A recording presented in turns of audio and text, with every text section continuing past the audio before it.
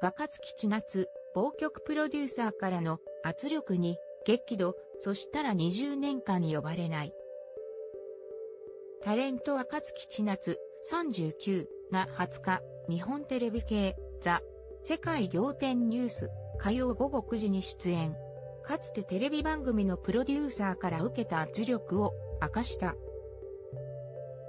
番組で取り上げたエピソードにちなみ、MC の中居正広から大きな力に抵抗した経験。そんなのないよね、若月さんと振られた若月は、ありますと即答。10代の時、初めてに近いくらいバラエティに出させてもらった時に緊張しちゃって喋れなかったんですよ。リアクションがうまくできなくて。でも2回目、呼んでもらえたんですよと話し出した。そして、そしたら本番前にプロデューサーの人が今日喋らなかったら二度と呼ばないからって言われたんですよ。腹立ってその収録中一言も喋らなかったです。そしたらもう20年間呼ばれないです。ちゃんと呼ばれないですと続けた。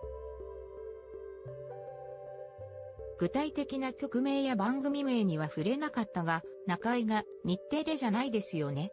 と突っ込むと、若月は日テレじゃないです。日テレさんにはお世話になってますと否定。中井がさらに具体的曲名を挙げて確認したが、その部分は P 音で消された。若月は、ちょっと待って、曲名を絞っていくの、やめよとリアクションし、笑いを誘っていた。